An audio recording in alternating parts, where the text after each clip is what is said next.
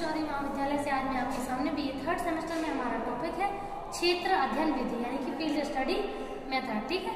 तो जैसे कि जब हम प्रयोग करते हैं तो जब हम ऐसी जगह से पॉपुलेशन का डाटा लेते हैं जो फ़ील्ड में आती है, यानी कि एक बहुत बड़ी पॉपुलेशन का डाटा एक साथ लेना और वो भी फ़ील्ड से, ठीक है? जिसमें हम प्रयोगशाला का प्रयोग नहीं करते हैं तो उसे क्षेत्र अध्ययन विधि कहते हैं, ठीक? तो इसमें फ़र्स्ट जो है कैनलैंड उन्होंने क्षेत्र अध्ययन विधि को ऐसे बताया था कि जब भी हम लोग बहुत बड़े आंकड़ों को एकत्रित करने के लिए किसी फ़ील्ड में जाकर के एक ऐसा डाटा एकत्रित करते हैं जिसमें व्यक्तियों को नहीं पता होता है कि उनके ऊपर अध्ययन किया जा रहा है।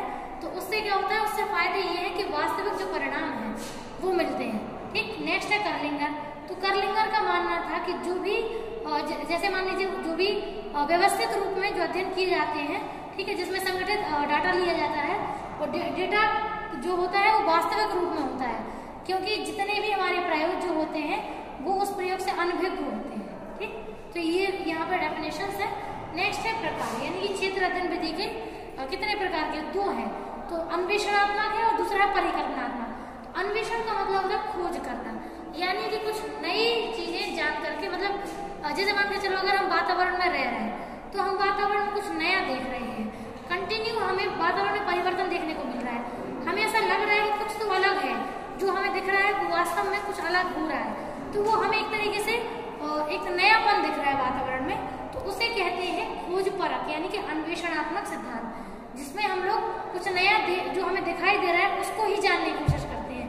और नेक्स्ट होता है परिकल्पनात्मक। तो परिकल्पनात्मक मतलब है कि हम अपने हिसाब से प्रयोग करना चाहते हैं।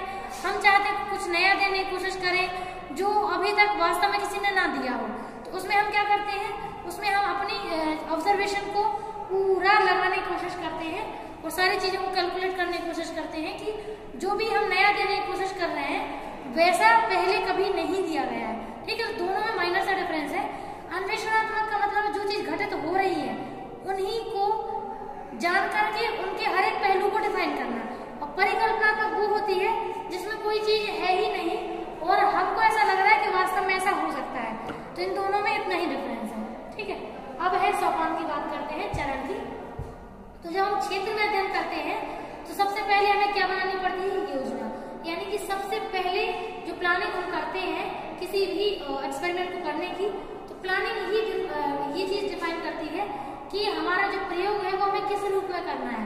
यानी कि डाटा कलेक्शन कैसे करना है, किस मेथड से करना है, और किस जगह से डाटा लेना है, ठीक है, कितना डाटा लेना है तो ये सब कुछ डिफाइन करता है योजना। तो योजना अगर क्षेत्र में अध्ययन ढंग से कर पाएँगे क्योंकि जिन लोगों पे अध्ययन हो रहा है, उनको तो हम जानते ही नहीं है, ना वो हमें जानते हैं तो उन पर हम कंट्रोल तो बिल्कुल नहीं कर पाएँगे, ठीक? तो इसीलिए योजना बेस्ट होती है, ताकि कोई भी गड़बड़ अगर लास्ट में हो तो हम उसको अपने हिसाब से चेंज कर पाए, ठीक? नेक्स्ट है अन्वेषी कार्यक्रम। अन्वेषी मतलब होता है नया कुछ जानने की, खोज करने के लिए किया गया प्रयोग। तो इसमें जब हम लोग खोज करते हैं, कुछ नया जानने की कोशिश करते हैं तो उसे अन्वेषी कार्यक्रम कहते हैं, ठीक? नेक्स्ट शोध अभिकल्प का निर्माण। शोध अभिकल्प का मतलब होता है जो रिसर्च डिज़ाइन है, उसको बनाना। यानी कि किस मेथड से डाटा कलेक्शन करना है, कितना डाटा कलेक्शन करना है, किस एरिया से डाटा कलेक्शन करना है, और डाटा कलेक्शन करने के बाद रिज़ल्ट किस मेथड से निकालना है। तो ये चार पाँच चीज़ें हम पहले डिसाइड कर लेते हैं। इसे शोध अभिकल्प कहते हैं। ठीक? नेक्स्ट है शोध उपकरणों की पूर्व जाँच। यानी कि जब भी हम शोध करते हैं तो शोध में कौन से टूल का यूज़ करना है किस माध्यम से हमें डाटा को कलेक्ट करना है, उसको पहले हम चेक कर लेंगे कि वास्तव में वो सही परिणाम दे भी पाएगा या नहीं। उसी के बाद हम उसका प्रयोग करेंगे। अगला है पूर्व क्षेत्र अध्ययन। यानी कि जिस क्षेत्र के लोगों का डाटा हम ले रहे हैं तो पहले उन लोगों को हम लोग एक तरीके से ये देख लेंगे कि जितना डाटा हमें चाहिए है, कि उतने लोग उस क्षेत्र में है भी या नहीं। अगर लोग क्षेत्र में कम हो तो फिर हमें क्या करना पड़ेगा? ऑफ़िस हमें क्षेत्र बदलना